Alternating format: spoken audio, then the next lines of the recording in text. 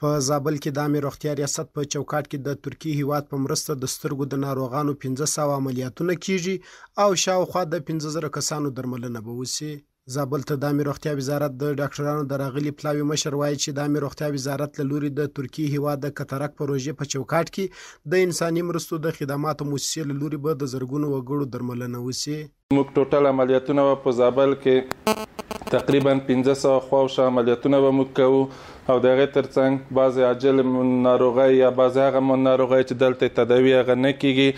نږدې یا هم مرکز ته به هغه موږ ریفر کوو تر څو د دوی بادي کارونه هلته مخته ولاړ شي او یو تعداد هغه خلک چې عمرونه یې څلوېښتو کلونو نه پورته وي چې معمولا په سترګه کې څلوېښت کلنۍ نه وروسته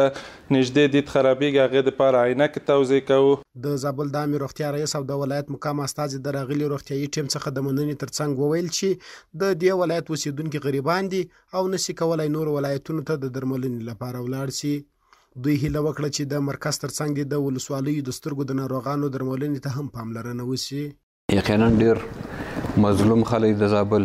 ډیر له امکاناتو محروم پاتې شوی دي چې څوک څه کار دلته وکړي بیا ورمال میډي چې له زابل سره څونه جفا شوې ده څونه محروم پاتې شوی دي موږ د موسسې ته پر اطمینان پر ډاډ ورکو سي زابل یو پراخ ولایت لري پرتی سیمې لري ولسوالۍ ډېری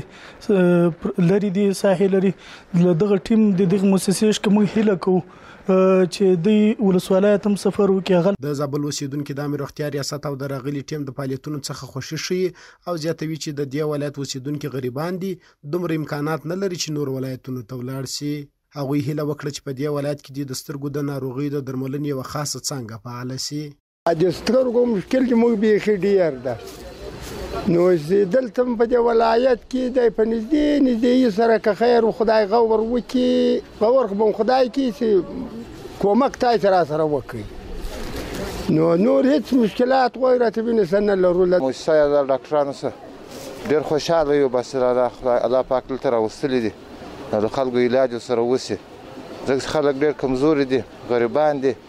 د علاج توان نه لري. د یادونې وړ ده چې د سترګو د ناروغانو دغه ټیم په داسې حال کې زابل ته راځي چې د عامې روغتیا ریاست وايي، هڅه کوي په سیمه کې د روغتیا په برخه کې د دې ولایت د ټولو اوسېدونکو ستونزو ته پاملرنه وکړي.